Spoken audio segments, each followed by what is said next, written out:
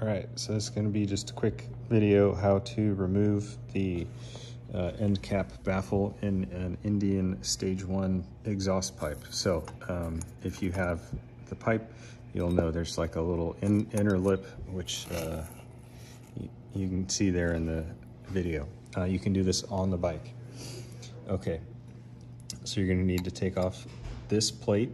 It is a two and a half millimeter Allen key. Um, you can just fold that out of the way or take the whole thing off. Um, these two bolts down here, they're a security Torx. It's a special Indian security Torx, not a regular one. Um, you can use a Dremel with a cutting disc and uh, cut a notch in it, take those off. Okay. Um, Allen, this one's gonna be a size five. Then you get in here and there's still two more bolts. So um, these are also the special Indian security Torx. Uh, you can, again, use a Dremel with a cutting disc, cut a notch in them, flathead, uh, unscrew them. And then once you do that, this whole piece comes out and you get a nice, deep, rich sound.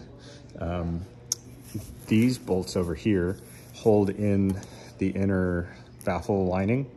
Um, so if you want to take the packing out, then that's when you would touch these bolts.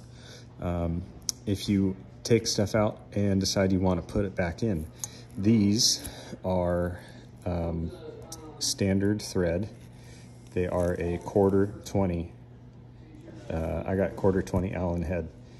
Um, I think it uses a 3 16th uh, Allen key. But these out here are um, 12, 30 seconds.